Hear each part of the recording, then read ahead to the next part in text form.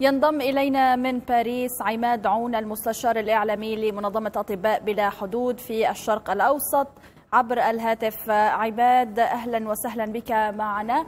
يعني هل لك أن تحدثنا أكثر عن أهمية هذا اليوم وأبعاد التوعية به بحكم الحاجة, الحاجة الماسة والضرورية لأن يتم رفع مستوى الوعي والتثقيف بين الأهالي حول كيفية التعامل مع الألغام وغيرها من أنواع المتفجرات؟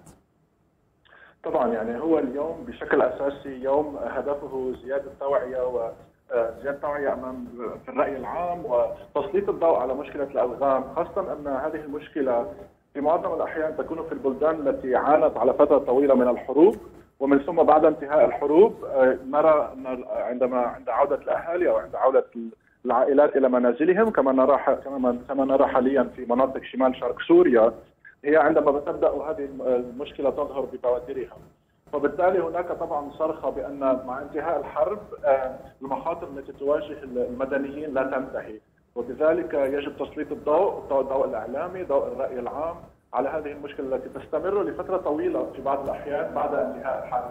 ولكن التغطية غير موجودة عليها بسبب أن الإعلام بالإجمال يركز على الحروبات والمشاكل الأخرى.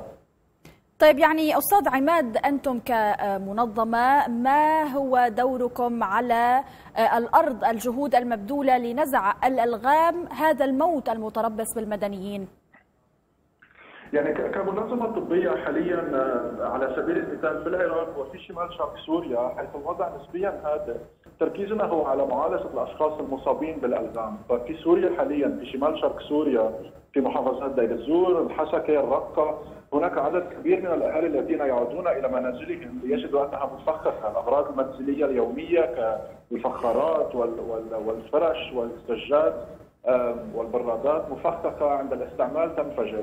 فبالتالي يصلنا هؤلاء المرضى أو هذه الحالات إلى مستشفانا في شمال شرق سوريا وعندها يتم تقديم المساعدة الطبية اللازمة لمعالجة الوضع، ولكن بنفس الوقت وبسبب ذلك بسبب ذلك بسبب تلك الأرقام التي نراها في في العراق في سوريا في بلدان أخرى نناشد المنظمات المختصة بنزع الألغام والسلطات المحلية التي بالإجمال هي معنية بزيادة الوعي مع السكان ضمن السكان. نناشدها باتخاذ الاجراءات اللازمه لنزع الالغام لمسح المناطق التي يعود إليها السكان حاليا وإلى نشر الوعي من ناحية يعني كيفية معرفة أين يوضع اللغم، كيفية تفكيكه وفي حال انفجر اللغم ما هي الإسعافات الأولية الضرورية. طيب معظم ضحايا الألغام يعني هم من الأطفال تجدونهم في المشافي الميدانية الواصلة لكم لماذا الأطفال أستاذ عماد؟